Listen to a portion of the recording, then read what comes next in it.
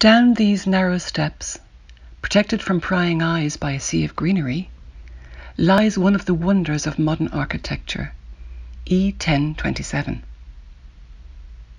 Hello, I'm Siobhan Parkinson, author of Rocking the System, a book about fearless and amazing Irish women, which includes Eileen Gray, one of the greatest designers of the 20th century.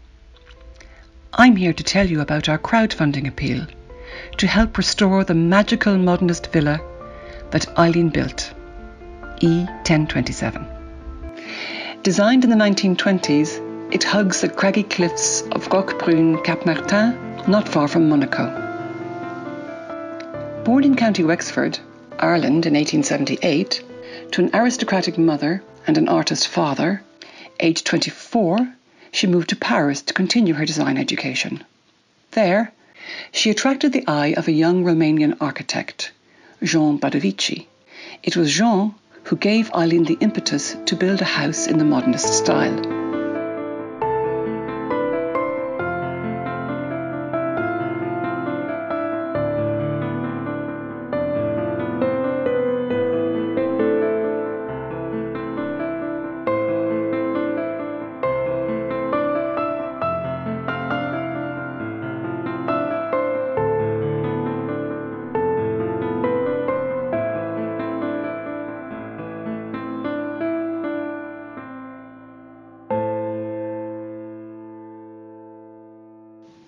She threw her inventive genius into creating furnishings that were both works of art and objects to be used and enjoyed.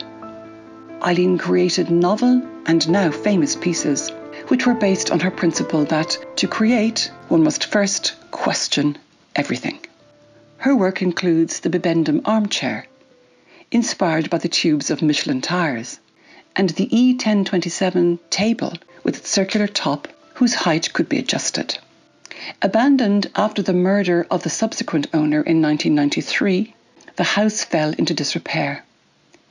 It was rescued by the French National Trust of the Coastline in 1999, and restoration began. Since 2014, this work has been undertaken by the Association Cap Moderne. All essential structural work has now been completed. What remains to be done is the recreation of Eileen's fixed and freestanding furnishings, using her original methods and materials. We also aim to provide disabled access to the site. We hope you will help us to raise £50,000 towards our fundraising efforts. Her extraordinary story deserves to be told. She was an incredible woman who was bashing down gender barriers before women even got the vote and E1027 is the only place in the world to get a complete sense of her design genius. Please give generously. Thank you.